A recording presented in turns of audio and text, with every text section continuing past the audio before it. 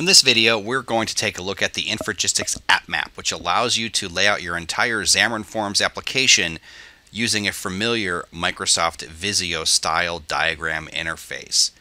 You can design your apps in minutes by dragging and dropping pages, child relationships, and navigation onto our design surface in the app map. Essentially, you're taking what you would have on your whiteboard and you're designing it directly in Visual Studio and then we will generate all of the views, view models, and navigation code based on a best practice Prism MVVM architecture. So this really makes getting your mobile apps created very easy. So let's go ahead and get started. When you install Infragistics Ultimate UI for Xamarin and you do a File New Project, you'll see in the Infragistics node in the Visual Studio Templates tree, a Xamarin Forms options for AppMap. So we'll leave the default here to AppMap Project 1 and I'll just click OK. The first thing we're prompted with is the Infragistics Project Wizard, which gives us our options for the type of project we want in our solution, either Android or iOS. For this application, I'm just going to create an Android app. Now, keep in mind, I did mention that we are generating Prism code. Prism requires a container for the application.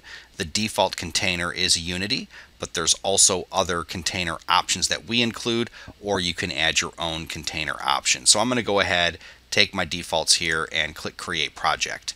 Now I'm presented with the Xamarin Forms app map.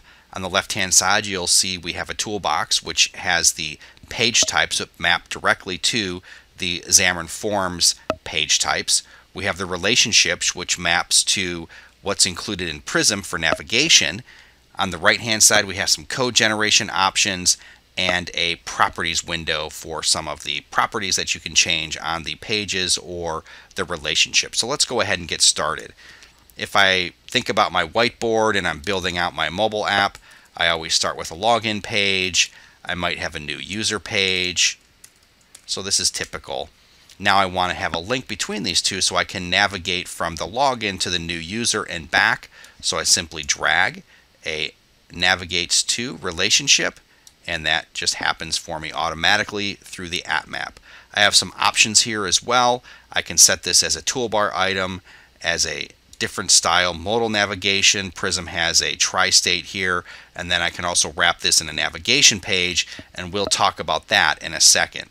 So now let's drag a master detail out. What we've done here is when you drag a master detail, we actually add for you several child windows just for ease of use. Normally you have multiple pages in your application, so instead of you having to drag and drop those, we auto-generate them.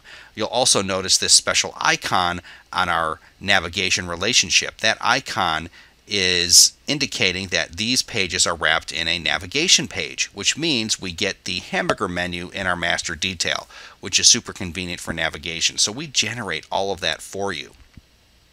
So I'm going to go ahead and give this a name. This will be my home page, and these guys here we're going to call customers, and this will be orders, and this will be called our news feed. Now there's one other type of page I want to show you, which is the tab page. So I'm going to drag this tab page out, and it's the same deal. You'll notice that I have some child pages on my tab page, actually content pages, and those have in the navigation uh, the child order property, which you can customize as well through the properties editor.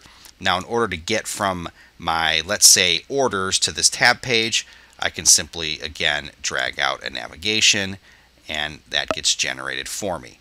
Now, if I go back here to my login, you'll notice there's no way to get from the login to the master detail.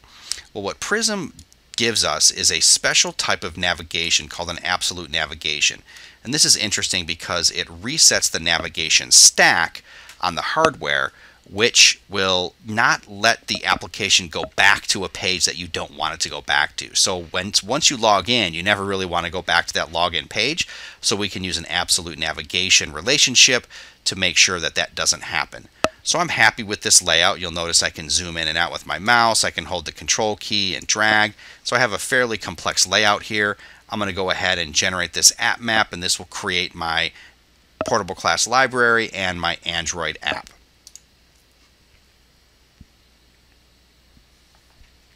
Now my application is created. You'll notice that my solution, I have my AppMap project, I have my portable class library, which includes my view model base, all of the view models, and all of the views.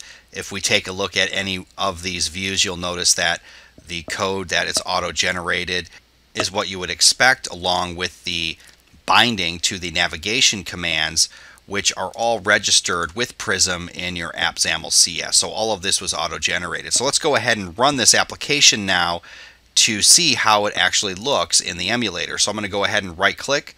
I'm going to set the Droid project as my startup and I'm going to go ahead and hit run and we'll take a look at this once it starts in the emulator. Our application is started in the emulator. You'll notice we have our login screen and I can click on my new user button which takes me to my new user page. I can go back to my login screen. Once we have a successful login, the home would get activated and now I'm here on my customers page. You'll notice that there's no back button for me to go to the login screen, but I do have my hamburger menu which has my customers, orders, and news feeds. So if I, if I click orders, you'll see that here's my orders page. If I click news feed. I have my news feed. If I go back to orders, you notice that I had my tab page. So if I click tabbed, I have my page here, which has my children. And I can always go back, and I'm back here at the main screen, which I can go back to my customers. So you can see that we've generated all these pages, all of the navigation in a best practices Prism application for Xamarin Forms that will really accelerate your Xamarin Forms development and get your projects kick-started in no time with the Infragistics Xamarin Forms app map.